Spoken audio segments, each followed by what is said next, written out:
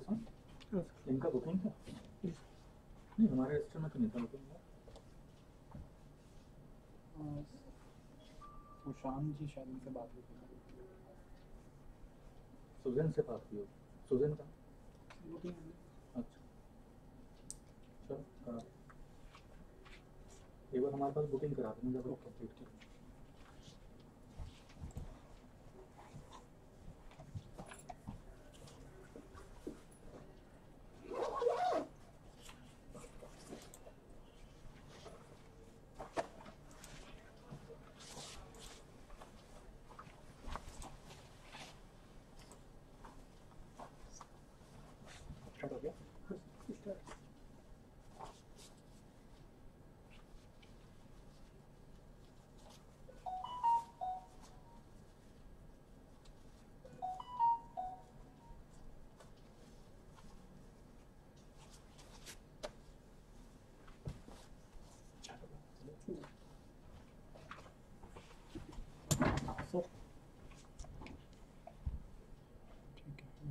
Video नहीं आ रही sir delay ना सर ठीक है स्टार्ट करो जी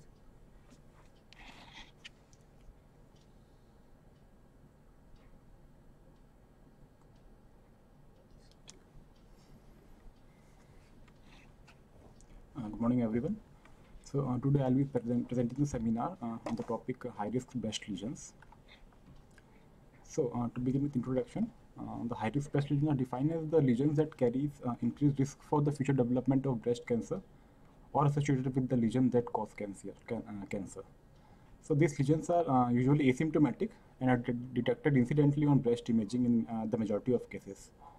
However, uh, the wide use of screening uh, mammography uh, has resulted in increased detection of these lesions. So the benign breast diseases are classified on the uh, spectrum of histology at NATIS, and which is subdivided into uh, non-proliferative disease lesion, lesions, uh, the proliferative lesions without atypia, and proliferative lesions with atypia. So, uh, according to uh, one study conducted by David et al. and uh, which classified the breast le- lesion on the basis of the, the risk of developing the car- carcinoma, the adenosis, the apocrine changes, duct ectasia, and mild epithelial hyperplasia. Uh, these lesions are uh, not associated with an increased risk of breast cancer, and, uh, and these are non-proliferative lesions. However, the atypical ductal hyperplasia and atypical lobular hyperplasia are uh, uh, are uh, the group which is associated with increased uh, moderately increased risk, and which is four to five time uh, five five times the average risk. In the proliferative lesions without atypia, it is um, uh, moderate of florid hyperplasia of usual type, sclerosing adenosis, and the papilloma, which is related with 1.5 to 2 times of increased risk, uh, slight increased risk of cancer. And the high risk lesions, which is a, uh, which is ductal carcinoma in situ and lobular carcinoma in situ, which is associated with 8 to 10 times of increased risk.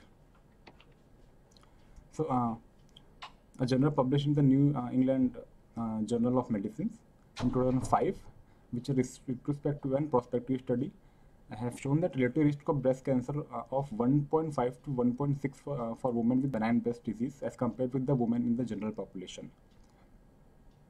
And the histological appearance of the uh, benign lesions is strongly associated with the risk of breast cancer.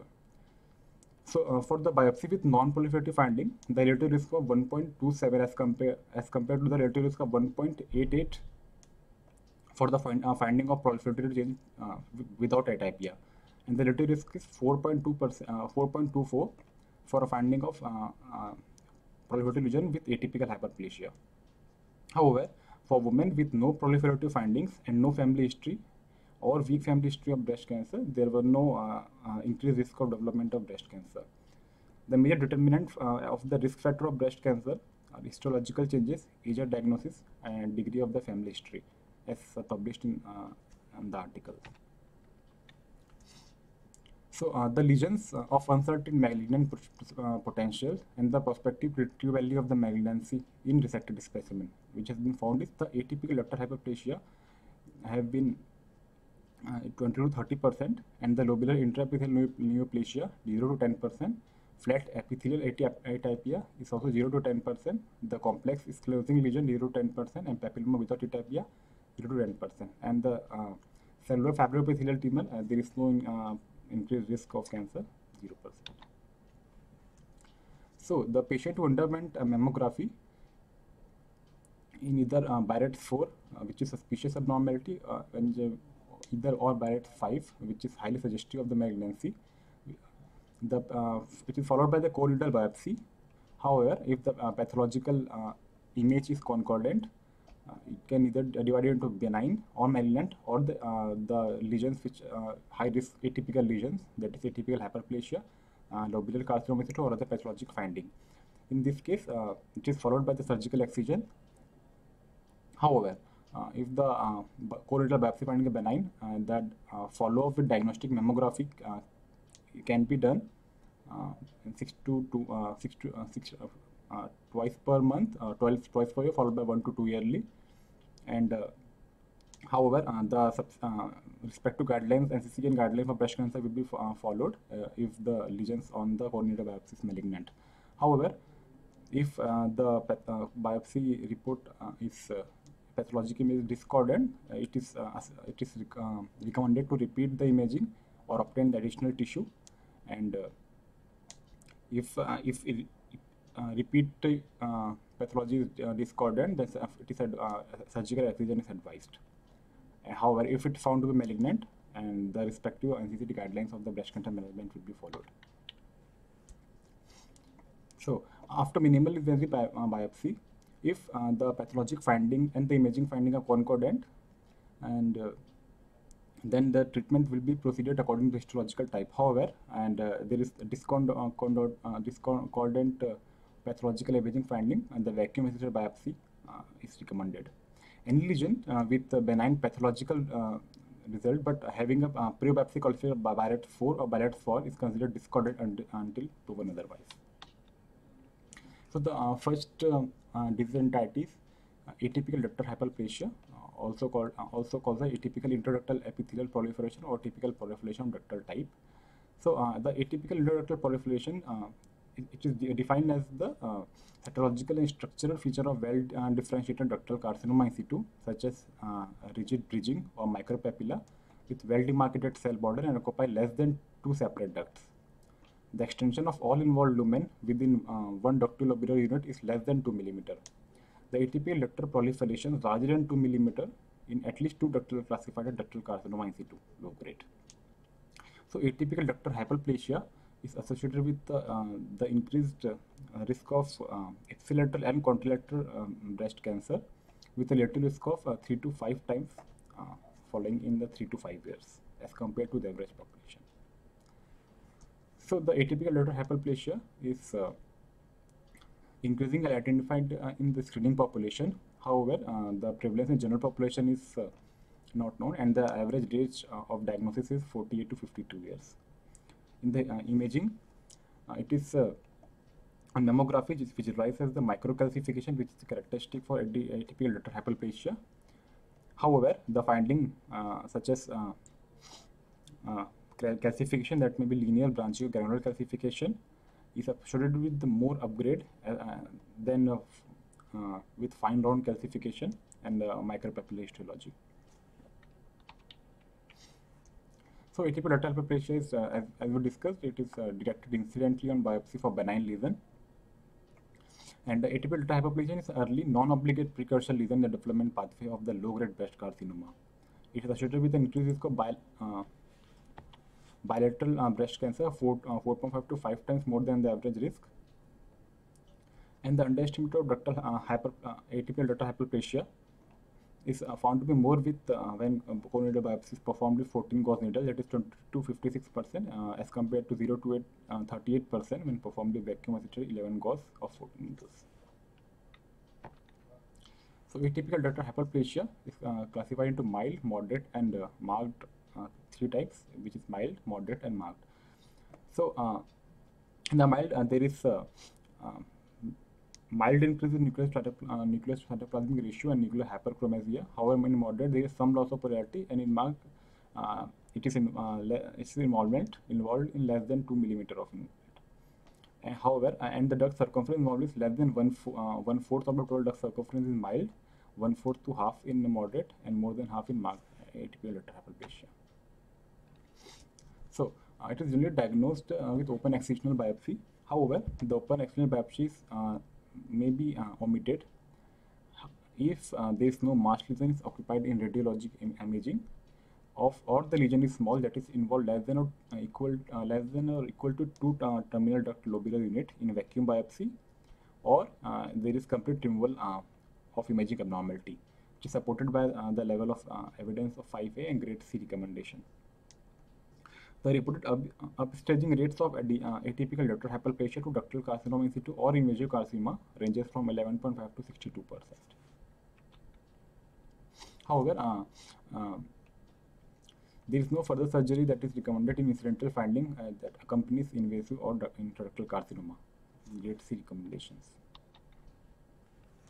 So the risk of breast cancer after atypical uh, hyperplasia, stratification of breast cancer risk, uh, the following parameters have been included that is number of foci, microcalcification, types and age. The relative risk of one 8.9% have been observed with the number of foci greater than or equal to 3 and uh, the uh, absence of macrocalcification has been associated with the greater risk. However, uh, both ductal and lobular uh, type have been uh, uh, similar in terms of the relative risk. And if both is present, the relative risk of developing a carcinoma is 7.1 and uh, uh, it is uh, more frequently relative risk is 6 um, of the more in if the age is less than 45 so the risk rise in parallel with atypical cells and a family history of breast cancer. However the atypical result diagnosed by cytology or histology confirm similar breast cancer risk. So uh, study is published in 2017 uh, by Te- uh, and et al it, uh, it suggested that the uh, woman uh, with the atypical lateral hyperplasia diagnosed from excisional biopsy had a slightly higher risk of developing invasive carcinoma as compared to those which in which it was diagnosed via core-needle biopsy.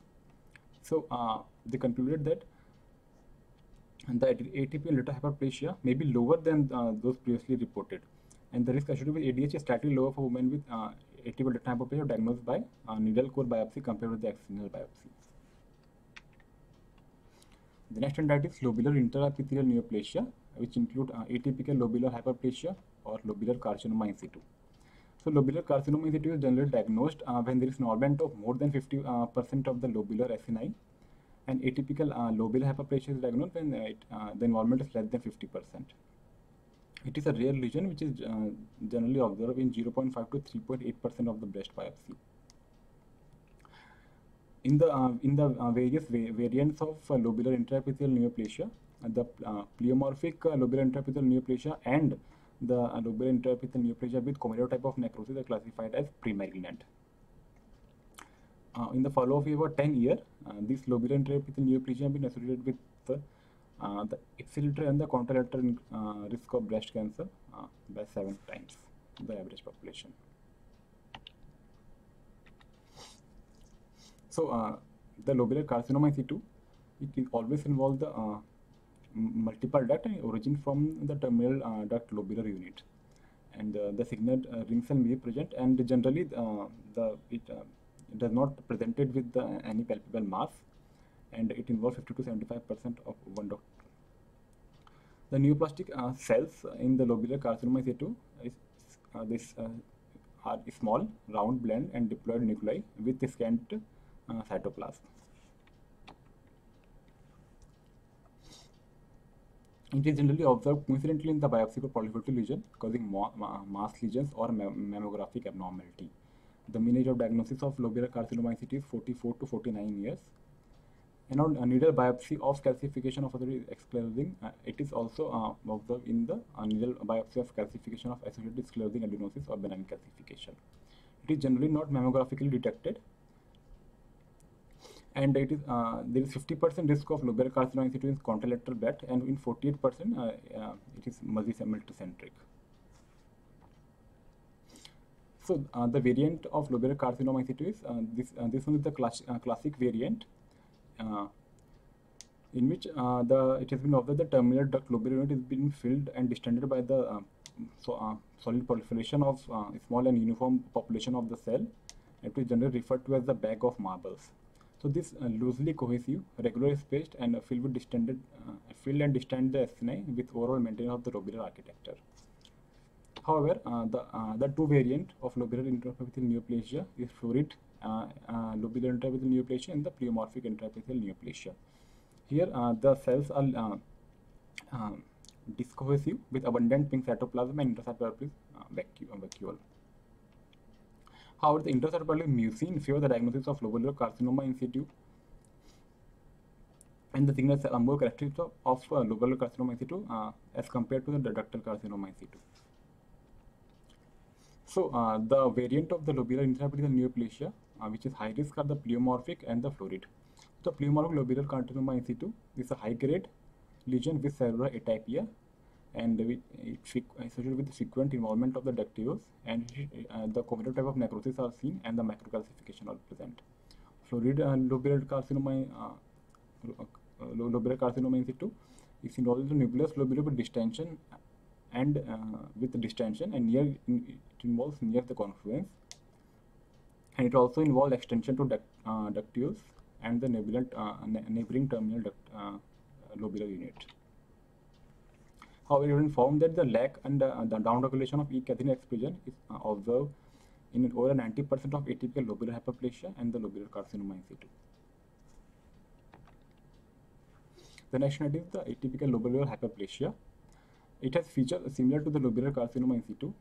However, uh, it is uh, uh, however uh, it involves less than 50 to 75 percent of the one lobule as compared to the um, more than 50 percent involvement seen in the lobular carcinoma in situ.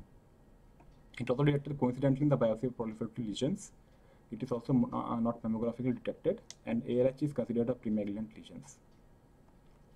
The uh, increase it is associated with the increased risk of development of bilateral breast cancer by 4.5 to 5 times more than the average risk.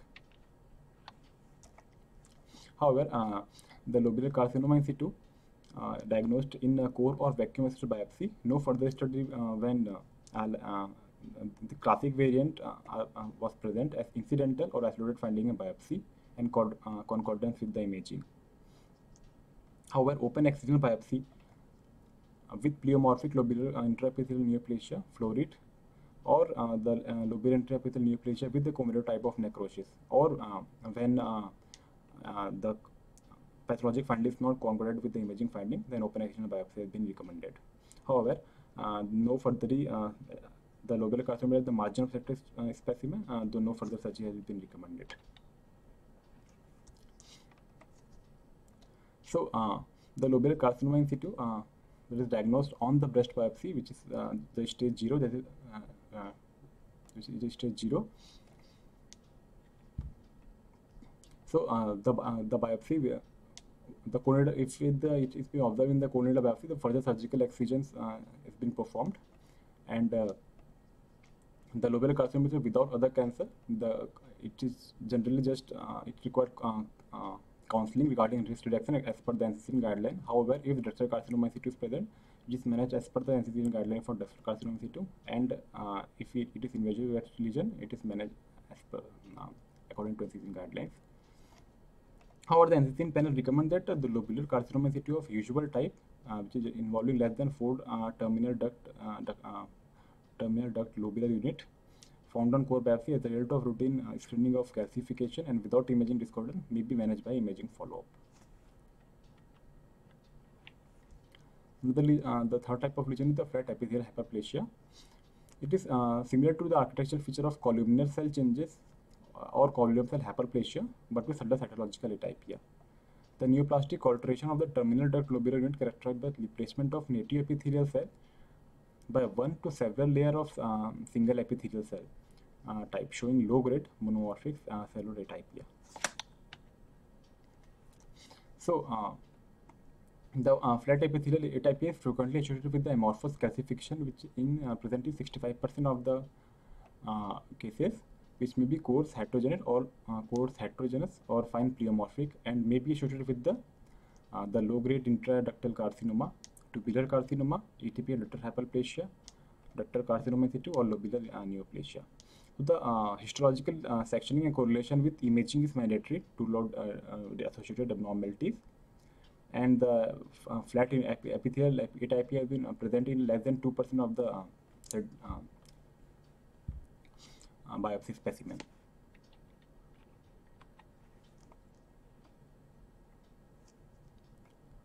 So uh, the flat epithelial uh, and has been di- di- distinguished with the atypical hyperplasia of ductal carcinoma in situ. Both are associated with the low-grade uh, uh, cytological atypia.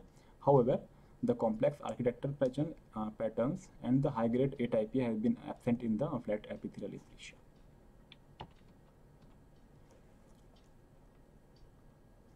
So in uh, flat epithelial atypia, uh, the open excision biopsy may be omitted in the following circumstances. Uh, that is a small lesion that is involvement of less than or equal to two terminal duct lobular unit, or a complete or near complete removal of the imaging abnormality, which is supported by the level of evidence 3B and grade C recommendations.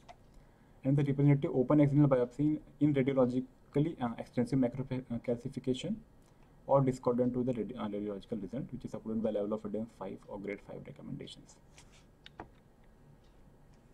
However, uh, no further sur- uh, surgery is recommended if uh, at the margin refractory specimen unless calcification has been completely removed, which is supported by uh, grade C recommendations. So next one is papilloma, which is the proliferation of duct epitheliums on uh, frond-forming fibrovascular stroma. Uh, it presented pathological nipple discharge. Uh, most common presentation of papilloma is uh, the nipple discharge, 96% of the patient of central type of papilloma and 29% uh, present uh, in case of peripheral regions. However, the peripheral regions uh, are present uh, more commonly the palpable mass or mammographic density. It is most com- more commonly seen in in 4 to 6, the decade of uh, 4 to 6 decade, most commonly in 5th decade, and more likely to be bilateral. So papilloma are generally two types, central and peripheral. The central generally solid, uh, solid, uh, solitary and uh, involve um, being present beneath the uh, nipple region. It is generally observed in the younger age group. However, the uh, peripheral lesions are usually multiple, and uh, it present uh, it is generally observed in the older age groups. The papilloma, how it is important to distinguish papilloma with uh, uh, the variant which uh, may be uh, present as papilloma with ductal carcinoma in situ, the intraductal papillary carcinoma, or encapsulated uh, papillary carcinoma. The papilloma, intraductal papilloma is with, in, uh, with in situ or invasive carcinoma, especially in case of atypical papilloma up to 20 uh, percent and uh, associated with increased risk of uh, epithelial uh, risk for cancer, which is 4.6 uh, to 13 percent in case of atypical papilloma. So it is generally present uh, as uh, nip- nip- uh, nipple dis- uh, discharge. However, the galactography may uh, reveal uh, the uh, filling defects. It may present as filling defects. However, the uh, the mammography may show uh, the circumscribed. Uh, uh, the mammography may show some circumscribed subareolar mass or cluster of calcification. So the, uh, the uh, finding here is showing the irregular uh, uh, isoechoic uh, mass containing echogenic calcification, showing the posterior shadowing and intimately associated with the non-distended duct.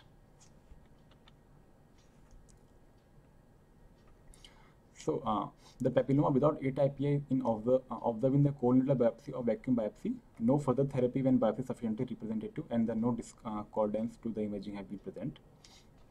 However, if there is multiple papilloma or the uh, papilloma with uh, atypia is present in the core needle or vacuum biopsy, open biopsy has been recommendation. And uh, no uh, published data observed with the papilloma observed at the resected specimen. Uh, this finding is suggested by the uh, mm, uh, grade C uh, recommendation. The next lesion is the radial, uh, radially sclerosing lesion, which is a benign pseudo-infiltrative lesions with uh, central fi fibroelastic core and the radial configuration. It is generally designated radial scar if it no less than 1 centimeter and it is uh, called, uh, called complex sclerosing lesion with involvement of greater than 1%. So these complex sclerosing lesions, it, uh, it's mammographically detected as a spiculated mass and the more uh, commonly identified in the specimen of uh, women with breast cancer. It may it may present as multiple lesions in uh, in, in ipsilateral breast, and uh, it is uh, generally present in the age uh, between 30 to 60 years of age. So it is an additional risk factor in patient with benign epithelial hyperplasia. And the risk for upgrade in open biopsy after diagnosis of radius closing a lesion in core biopsy is 8.3%. So the uh, mammographic finding it, uh, is similar to the carcinoma as it presents with a spiculated appearance, which is a long and thin uh, radiating radiolucent linear structure, and the center is tend to be translucent with low density rather than mass. However, uh, the similar uh, finding can be seen in the carcinoma. However, the carcinoma is present with a denser center and the spicules in uh, the radial scar uh, are generally longer and gracile uh, as compared to those uh, that is observed in the carcinoma. So the radial scar or the complex sclerosing lesions uh, observed in the core or vacuum assisted biopsy, the open uh, accidental biopsy may be omitted with a uh, small lesion that is normal of less than 5 millimeter or a complete removal or a near complete removal of a imaging abnormality. The radial scar or the complex uh, sclerosing le uh, lesions observed at the margin of the specimen, no further surgery is recommended. So, uh, the follow-up surveillance uh, is done with the mammography, which is annually. The MRI is uh, is been recommended for high-risk patient, and the so uh, the, the uh, it has been observed that the denser the breast tissue, the more likely the uh, probability of the uh, that the mass will go undetected. That is, the sensitivity of detection of uh, the breast lesion is 40 to 50 percent if the uh, breast tissue is extremely dense. However, it is 100 percent if in case uh, if the breast is entirely fat.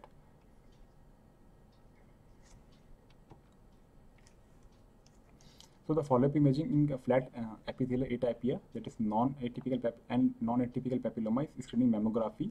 In lobular intraepithelial neoplasia, is followed uh, 12 monthly with mammography, and atypical hyperplasia, it is followed uh, 12 monthly with mammogra- uh, mammography. However, uh, the women with uh, lobular intraepithelial neoplasia and atypical hyperplasia should be concerned about the elevated, risk of the breast carcinoma, which is supported by the uh, 3A level of evidence and grade C recommendations. Another artist published in 2005 in the New England uh, Journal of Medicine, uh, which then suggested that the digital mammography uh, is uh, more accurate in women under the age of 50 years of age.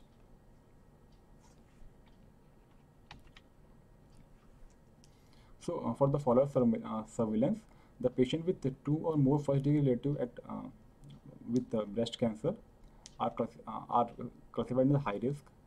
Other uh, factor for high risk is uh, the uh, prior personal history of breast cancer, dense breast, and presence of atypical ductal hyperplasia and lobular carcinoma in situ without family history.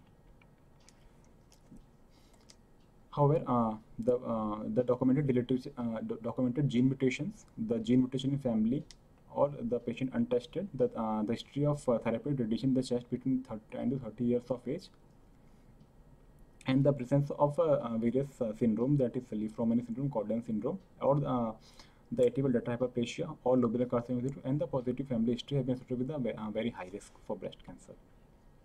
So, in a breast cancer prevention trial, uh, in which uh, 13, thou- around 13,000 high-risk women have been randomized to two groups. The one group received tamoxifen, another group uh, received placebo for five years.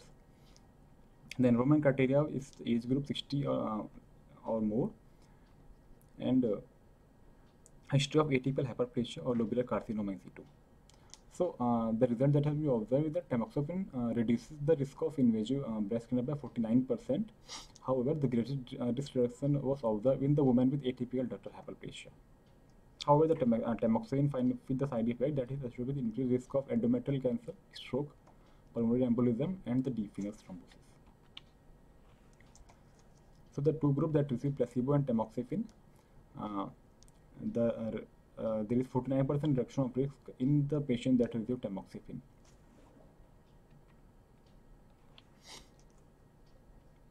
So the uh, the prevent uh, so it is uh, so it should be generally observed with the woman with lobular intraepithelial neoplasia, uh, with atypical ductal hyperplasia, or with the family history. It should not be offered with the woman greater than 50 years with moderate risk or enhanced risk of thromboembolism. So the recommended uh, drugs for the medical prevention is uh, tamoxifen is, uh, is for the woman greater than 35 years. It's associated with the risk reduction for invasive breast carcinoma or ductal carcinoma in. The aromatase inhibitor that is uh, exemestane and anastrozole uh, for the postmenopausal women. The raloxifene for also recommended for the postmenopausal women, which is associated with the uh, risk reduction uh, for invasive carcinoma of breast, uh, which is supported by the uh, grade A recommendation of grade 1B level of uh, evidence. And uh, uh, it uh, the it should be of, of, offered only after individual and comprehensive counseling. So I will discuss the, the tamoxifen side effect, which the thromboembolism and the headache and that uh, deep venous thrombosis have been observed in the IBIS trial in the follow-up of 96 months of period. So uh, in the end, uh, uh, one of the study published by Lo, uh, Londero et al. Uh, that the use of vacuum assisted biopsy is associated with the re- reduced upgrades in compared to the colorectal biopsies. So in that, I would like to conclude with the seminar. Thank you.